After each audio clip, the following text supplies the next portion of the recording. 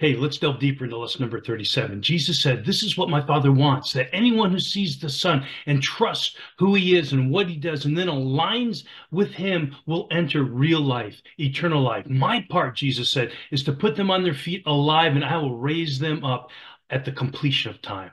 Now, being raised up on the last day is what the resurrection is really all about, right? The apostle Paul wrote, "The corpse has pla- that's planted eh, it has no beauty, but when it is raised, it's glorious. Put it in the ground weak, it comes up powerful. In the resurrection scheme of things, this has got to happen. Everything perishable taken off the shelves and replaced with the imperishable, the mortal replaced with the immortal. Now, having established that New Jerusalem is a metaphor for the people of God, let us now explore the reasoning behind the suggestion that New Jerusalem is a word picture for the resurrected body of believer. Throughout John's tour of New Jerusalem, inside and out, we have seen all the references to the city being the people of God. It's a city built upon the foundations of the apostles, with Jesus being the chief cornerstone.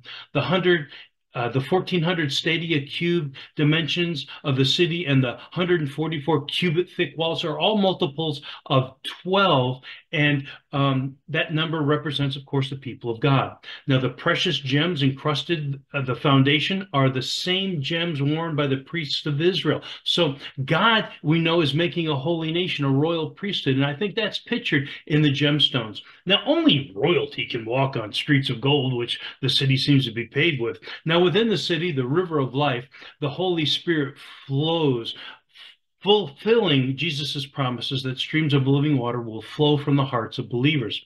Now we eat from the tree of life, and thus we will be forever with the Lord.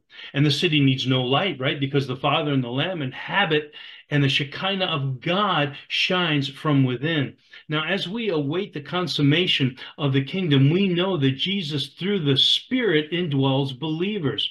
So, based on such inferences, it's suggested that New Jerusalem to be understood as the resurrected body of a believer. Now, one more clue for this deduction New Jerusalem descends out of heaven to rest upon a new earth. Now, in Revelation 19, we know the armies of heaven return to earth with Jesus, and we dare not fix a location for paradise or the throne rooms under the altar, but we could surmise that the resurrected believers come down, maybe from there.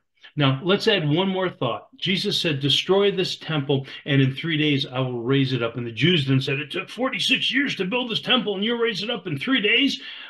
But Jesus was speaking of the temple of his body. Now, it, it, doesn't seem so far a jump to then assume that New Jerusalem can also refer to a body. So the description of New Jerusalem is a description of the resurrected the body that believers will put on. But now you know what? It's up for you to decide if that suggestion is viable or not.